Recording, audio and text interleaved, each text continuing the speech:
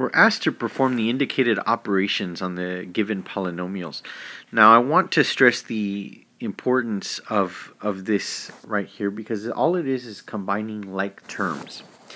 And this is no different than the uh, addition and subtraction that you did in elementary school because now we're working with variables and we are working um, with uh, exponents but it's no different. So what we're going to do is we're going to first um, write them out, put them in descending order, so put each set in descending order.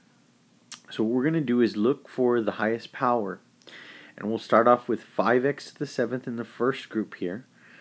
Alright, so I'm going to write 5x to the 7th power.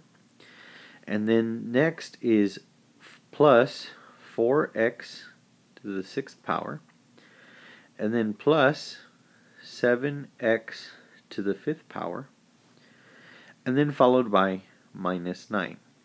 Okay, so we're setting this up really nicely. This is what I call column form.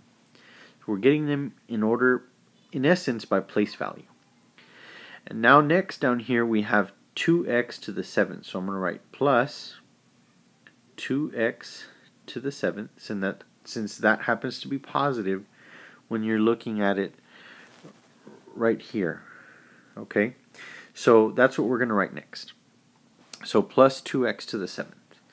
And then let's see what we have next. Well, we have minus 9x to the 6th, minus 9x to the 6th power, and then minus 5x to the 5th power. So there's that and then let's see, minus 3. So we've set this up in what I call column form, but it's no different than what you were doing in elementary school when they talked about place value, when they talked about ones, tens, and hundreds. So we have 5x to the 7th plus 2x to the 7th. Well, 5 plus 2 is 7. So that's not going to change anything with the variable. That's going to stay as x to the seventh power. Okay, so 5 plus 2 is 7, 7x to the seventh. Then we have a positive 4 and a minus 9, or negative 9. 4 minus 9. Well, working with integers, the signs are different. We subtract 4 and 9 and we get 5. And the number with the larger absolute, absolute value is 9, so it becomes negative. So minus 5x to the sixth. Again, that doesn't change the exponent. Next, we have a positive 7x to the fifth and a negative 5x to the fifth. So the signs again are different. We subtract, we get 2, that's the difference, and it happens to be positive since the 7 is has a larger absolute value. So plus 2x to the fifth power. And then we look at these last set of numbers here.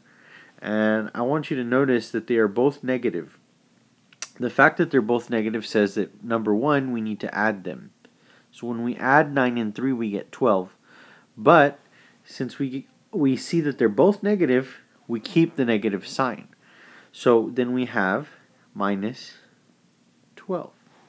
So our answer to the problem is simply this right here, 7x to the 7th minus 5x to the 6th plus 2x to the fifth minus 12. So let's recap very quickly. We set these up in column form and basically added by place value here. And that's how we got our final result.